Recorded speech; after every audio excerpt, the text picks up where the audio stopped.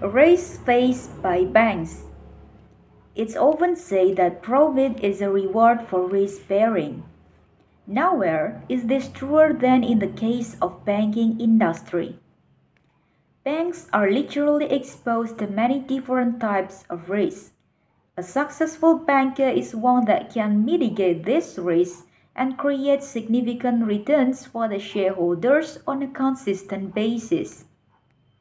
Mitigation of risk begins by first correctly identifying the risks, why they arise, and what damage can they cause. In this article, we have listed the major type of risks that are faced by every bank. They are as follow. Credit risk. Credit risk is the risk that arises from the possibility of non-payment of loans by the borrowers.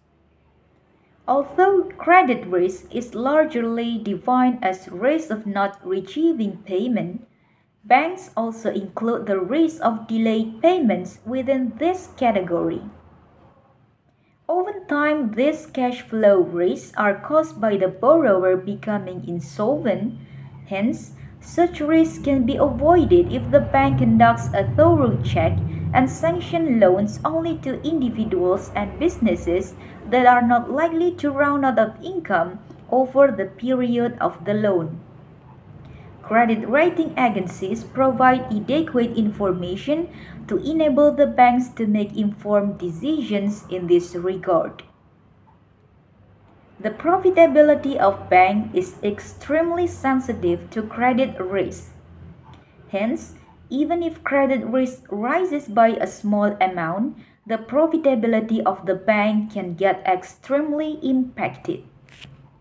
Therefore, to deal with such risks, banks have come up with the right variety of measures. For instance, banks always hold a certain amount of funds in reserves to mitigate such risks. The moment a loan is made, a certain amount of money is appropriated to the provision account. Also, banks have started utilizing tools like structured finance to mitigate such risks.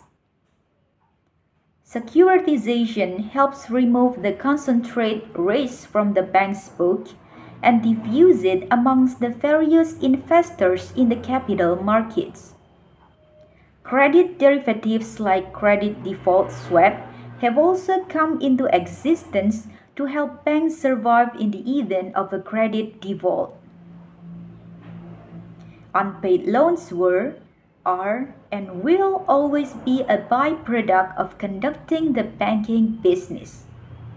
Modern banks have realized this and are prepared to handle the situation without becoming insolvent until a catastrophic loss occurs. Market risk Apart from making loans, banks also hold a significant portion of securities.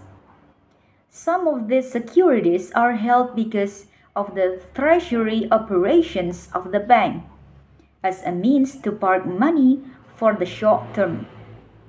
However, many securities are also held as collateral based on which banks have given loans to their customers. The business of banking is therefore intertwined with the business of capital markets. Banks face market risk in various forms. For instance, if they are holding a large amount of equity, then they are exposed to equity risk. Also, banks by definition have to hold foreign exchange, exposing them to forex risk. Similarly, banks lend against commodities like gold, silver, and real estate, which exposes them to commodity risk as well. In order to be able to mitigate such risk, banks simply use hedging contracts. They use financial derivatives which are freely available for sale in any financial market.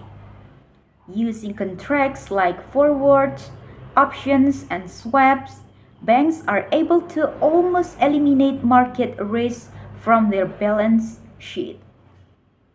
Operational risk. Banks have to conduct massive operations in order to be profitable. Economies of scale work in the favor of larger banks. Hence, maintaining consistent internal process on such a large scale is an extremely difficult task. Thank you.